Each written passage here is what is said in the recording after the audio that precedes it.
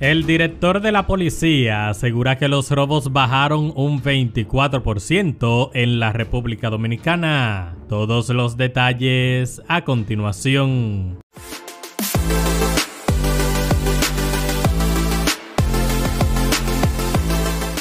El promedio mensual de los delitos de ratería ha bajado un 24% en todo el país desde 7.853 durante el 2019, último año previo a la pandemia, a 5.993 en los primeros ocho meses del 2021. Así lo aseguró este lunes el director general de la Policía Nacional, el mayor general Eduard Sánchez González. En un comunicado de prensa del gobierno, los delitos clasificados de ratería son los atracos, arrebatos, hurtos y roturas para penetrar en casas y edificios y hurtar cosas de poco valor con maña y cautela. De estos en el 2019 se registraron 94.239 casos, la gran mayoría de ellos en el Distrito Nacional, más de 20.000, y en la provincia Santo Domingo, más de 43.000. En los demás delitos clasificados como ratería, en los casos de atraco el promedio mensual bajó de 2.728 en el 2019 a 1.946 en los meses enero-agosto del 2021 en los arrebatos el promedio pasó de 910 al mes a 803, los hurtos de 2.728 mensuales a 2.160 y las roturas bajaron de 1.487 en promedio mensual en 2019 a 1.083 en lo que va de año.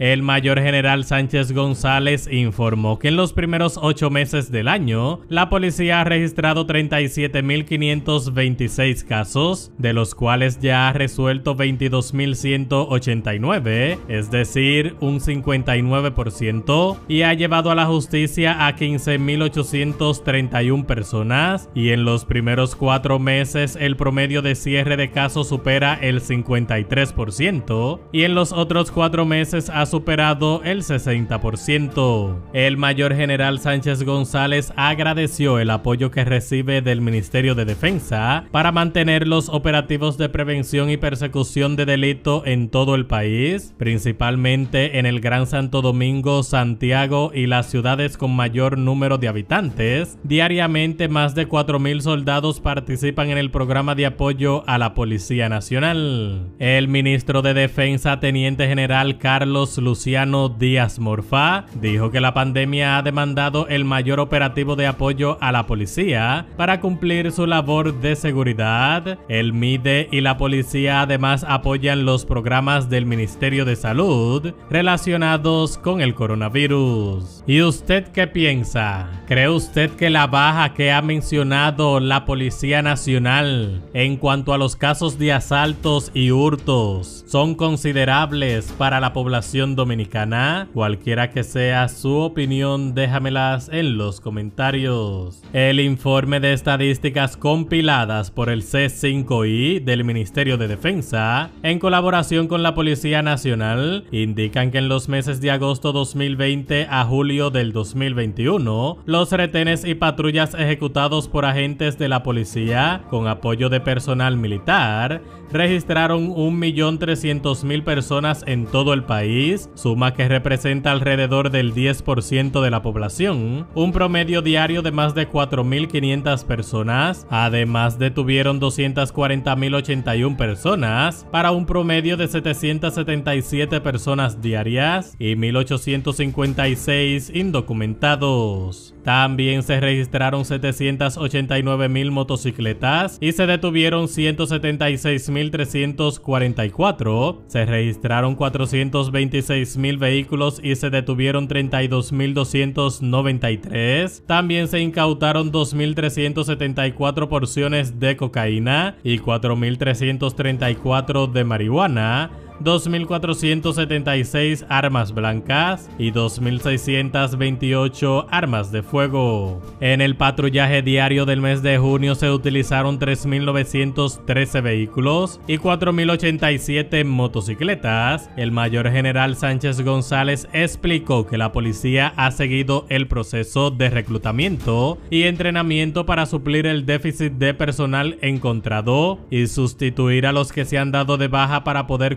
la cantidad estimada de agentes de Policía Nacional. Igualmente se sigue aumentando la cantidad de vehículos para disponer del servicio de patrullas motorizadas necesario. Todo esto aseguró al mismo tiempo que seguimos avanzando en aspectos de la reforma policial y ampliando el plan de seguridad ciudadana. El mayor general Sánchez González dijo que igualmente un equipo de expertos trabaja para establecer nuevos mecanismos que faciliten a los ciudadanos colaborar en la persecución del delito simplificando el proceso de recibir y dar seguimiento a las denuncias y querellas que se presentan. El director general de la policía dijo que desde que asumió esa posición ha trabajado para corregir las debilidades institucionales encontradas en las diferentes áreas de la institución, pero es una tarea que demanda tiempo y apoyo de todos los ciudadanos honestos. Con el compromiso de garantizar la seguridad pública, la Policía Nacional informa que tras una ardua labor de inteligencia e investigación se logró el desmantelamiento de la denominada banda de motoasaltantes que operaba en algunos barrios de la capital con el arresto de sus principales integrantes. Los cinco cabecillas del grupo de malhechores que operaban en motocicletas fueron apresados en diferentes operativos y en las próximas horas serán sometidos a la justicia por los hechos cometidos. Los apresados son Sandro René Moreta, alias Boleito, Carlito Carmona, José Joaquín Díaz Guerrero, Ángel Gabriel y José Rafael del Villar, alias Tomasito. A los detenidos le fueron ocupadas las motocicletas, así como un arma de fuego de fabricación casera de las denominadas chilena, la cual era utilizada para cometer sus fechorías. Durante los interrogatorios, cada uno de los implicados admitieron que son las personas que aparecen en los videos divulgados en los medios de comunicación y las redes sociales asaltando a los ciudadanos. Además de los arrestados, nuestros investigadores persiguen a cinco personas que se encuentran prófugos por este caso, entre ellos los apodados Anjala, El Directo, La Melaza, Matuerzo y David, a quienes se les exhorta que se entreguen por la vía que entiendan correspondiente. Nuestra institución hace un llamado a las personas que han sido víctimas de estos desaprensivos a formalizar sus denuncias. Esta es toda la información que tenemos por el momento, pero más adelante los mantendremos al tanto con las últimas informaciones de actualidad. Mientras les invito a que se suscriban a nuestro canal, no olviden dejarnos un me gusta y activar las notificaciones para que seas de los primeros en recibir nuestro contenido a la hora en que lo publiquemos. Hasta la próxima.